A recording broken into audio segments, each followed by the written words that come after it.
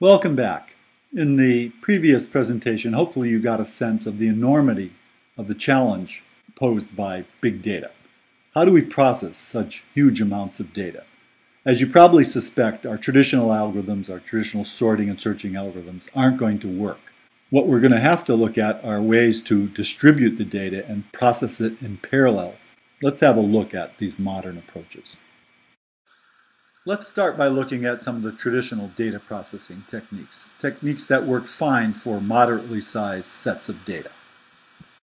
Well, we've talked about sorting and searching earlier. One of the problems of the algorithms we looked at is that to, in order to work, all the data that's being sorted or searched has to fit into the main memory, into RAM, random access memory. Similarly, the data in these algorithms are processed sequentially not in parallel, which, as we're going to see in a moment, is necessary for processing large data sets.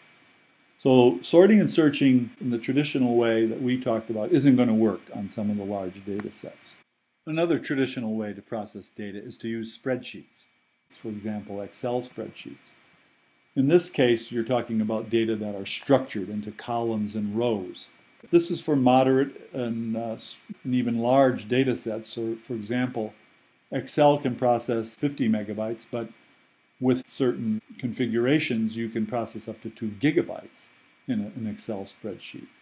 And this gives us access to analysis tools and visualization tools. So spreadsheets in general are very nice software products for, for processing and visualizing data. While this 2 gigabytes limit is a lot of data, it's small in comparison to the terabyte and petabyte size data sets that make up the big data challenge. So spreadsheets aren't going to work for those types of data sets. Similarly, databases. In this case, the data are structured into tables that can be interrelated. So you can search logically for data and retrieve things like find all males above 65 in the state of Connecticut. And this also is for moderate to large data sets, 2 gigabytes to up to 2 terabytes, using MySQL, a popular free and open source database management system. But again, while the 2 terabyte limit here is a big number, it's still dwarfed by the size of some of the data sets that make up the big data challenge. Another software tool that's just uh, recently emerged are Google Fusion tables. These are provided as a free web service, and they provide similar features as a spreadsheet. You can use them for analyzing data, also for visualizing data, including uh, via geographical maps. Uh, they're very easy to use, as we're going to see in an, in an upcoming exercise. So none of these traditional approaches will work. And that leaves us with the question, how do you process really large data sets? And by really large, we mean on the order of a petabyte. 10 to the 15 bytes of data. That's a number that looks like this, 10 cubed multiplied by itself five times. And as you, as you know, that's way too large of a data set to fit into a computer's memory. In fact, such a data set would take up many, many disk drives.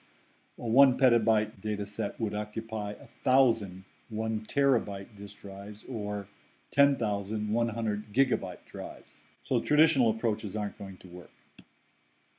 What we're going to look at is the MapReduce model. This is a programming model that was developed for processing large data sets. It uses a distributed file system so that a data set of size 1 petabyte would be broken up and stored in files that are spread out over many computers. And it would use a parallel algorithm, that is, many identical processors running the same process simultaneously. MapReduce was first developed at Google, but has since been released as an open source platform known as Hadoop.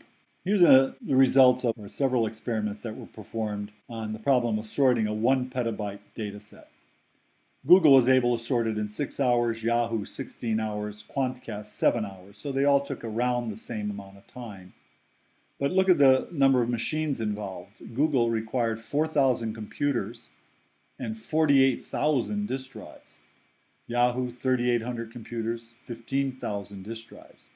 Quantcast is promoting their approach because it uses fewer machines and fewer disk drives, but still we're talking about a lot of computers and a lot of disk drives working on the one problem of sorting this one petabyte data set. Let's take a look at how MapReduce works. We're going to look at a, an example that's frequently used to explain the MapReduce model. Imagine the problem of counting the occurrences of every word in a large data set of documents, where you have, say, n documents.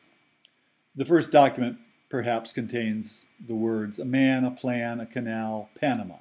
The second, in for a penny, in for a pound. So if you counted all the letter, all the words a, a, there's one, two, three, four, five in just these two documents, okay? Imagine there's a petabyte of data stored in the document.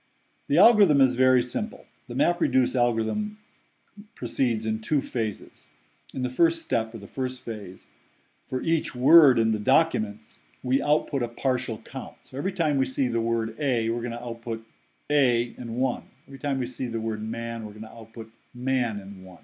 This is known as the map step. We're mapping the word A, or the word W in general, to W1. Okay, and we do that for every word. When the map phase is finished, we, we proceed to the reduce phase.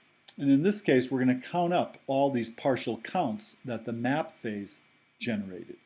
So we start with our sum equal to 0, and for each partial count, we add it to the sum. So this, as you can see, is, a, is basically a linear algorithm for the portion of the document set computer would be working on. So let's see how the MapReduce algorithm would process these n documents constituting one petabyte of data. We can assume that the data are already distributed across the 48,000 disk drives. The first thing that would be done is one computer out of the ones that are going to be working on this problem in parallel will be designated the master. It's the master's job to control the process. The first thing the master does is it designates a bunch of computers to serve as the mappers. And there may be M mappers, let's say, and each mapper is given the task of mapping a portion of the data set into these partial counts. So for example, maybe mapper 1 is given a man, a plan, a canal, Panama. Mapper 2 or mapper M is given in for a penny, in for a pound, and so forth. These mappers output partial counts. So for example, if this mapper 1 was given this piece of text, it would output these partial counts for the word A. It would also output counts for plan and man and the other words. We're not showing all of the output it would produce.